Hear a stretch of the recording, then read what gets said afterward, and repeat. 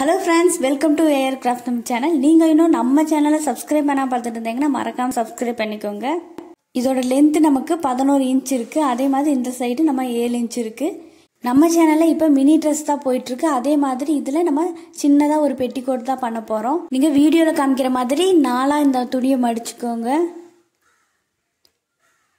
இப்போ நம்ம மேல் பகுதி நாலும் மடித்த பகுதியில் இந்த மாதிரி நம்ம ரெண்டு இன்ச்சுக்கு வச்சு மார்க் பண்ணி எடுத்துக்கிறோம். அதில் அப்புறம் ஒரு இன்ச்சுக்கும் நம்ம மார்க் பண்ணியிருக்கிறோம் கீழே இந்த மாதிரி வச்சு மறுபடியும் நம்ம இந்த சைடு நம்ம ஒரு இன்ச்சுக்கு மார்க் பண்ணி எடுத்துருக்குறோம். அதை இந்த மாதிரி நம்ம பாக்ஸாக போட்டு அதில் சின்ன வளைவு மாதிரி போட்டுக்கிறோம். அதே மாதிரி அந்த சைடு நம்ம மடித்ததையும் நம்ம ஒரு இன்ச்சுக்கு நம்ம மார்க் பண்ணி அதையும் பாக்ஸாக போட்டு வளைச்சி எடுத்துக்க போகிறோம்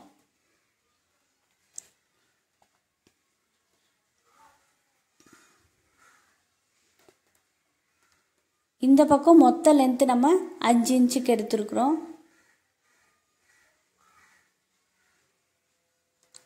இதை மார்க் பண்ணி நம்ம கட் பண்ணி எடுத்துக்கலாம். மொத்த லென்த்து நமக்கு அஞ்சு இன்ச் இருக்குது அதே மாதிரி இந்த சைடு நம்ம கழுத்துக்கு மட்டும் ஒரு இன்ச் எடுத்துருக்குறோம். ஷோல்டருக்கு நம்ம ஒரு இன்ச் எடுத்துருக்குறோம்.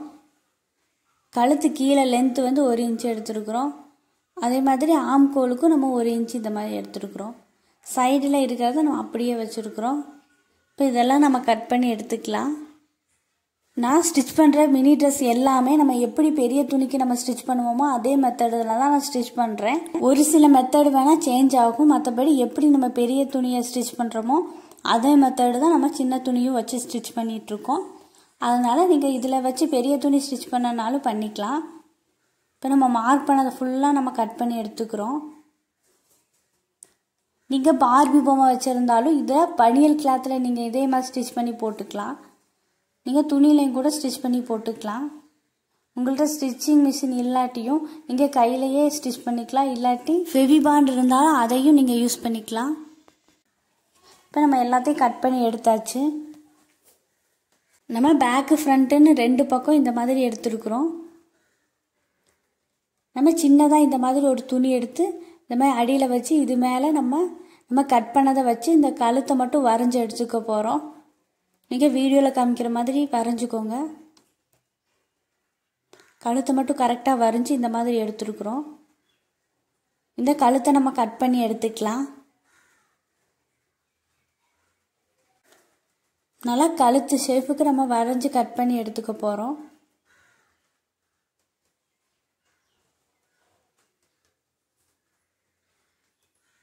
இப்போ நம்ம கட் பண்ணி எடுத்தாச்சு.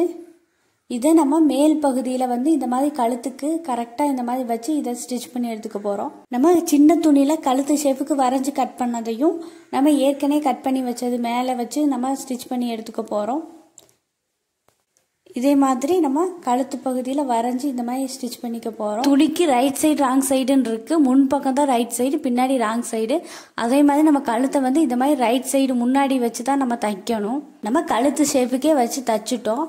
இப்போ தைச்சதுக்கப்புறம் இந்த மாதிரி நம்ம பின்னாடி திருப்பிக்கலாம். இந்த மாதிரி மடக்கி திருப்பிக்கோங்க. இப்போ திருப்பி இதுலேயும் ஒரு தையல் போட்டாச்சு. கீழேயும் கட் பண்ணதை நம்ம எப்போவுமே கர்ச்சிப்புக்கு வச்சு தைக்கிற மாதிரி ரெண்டாக மடித்து தைச்சிக்கலாம். இந்த பக்கமும் அதே மாதிரி நம்ம கழுத்து தைச்சாச்சு கீழேயும் நம்ம தைச்சாச்சு. நம்ம முன்பக்கம் பின்பக்கம் ரெண்டே ஒன்றா வச்சு இந்த மாதிரி ஷோல்டர் ஜாயின் பண்ணிக்கலாம். அப்போ நீங்கள் வைக்கிறப்ப ரெண்டுமே ரைட் சைடு ரெண்டும் ஒன்றா வர மாதிரி ராங் சைடு இந்த மாதிரி வெளியில் இருக்கிற மாதிரி வச்சு தைக்கணும். நீங்கள் வீடியோவில் காமிக்கிற மாதிரி பார்த்து தைச்சிக்கோங்க. ராங் சைடு ரெண்டுமே வெளியில் வர மாதிரி ரைட் சைடு ரெண்டும் உள்ளே போகிற மாதிரியும் வச்சு இந்த மாதிரி லைன் போட்டு நம்ம தைச்சி எடுத்துக்கலாம். இப்போ நம்ம தச்சு எடுத்துட்டோம். இதை நம்ம திருப்பிக்கலாம் இந்த மாதிரி.